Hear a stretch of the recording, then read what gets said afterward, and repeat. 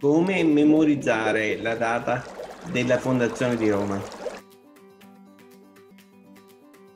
Per ricordare la data della fondazione di Roma, basta ricordare che si tratta di tre numeri dispari discendenti 7, 5, 3.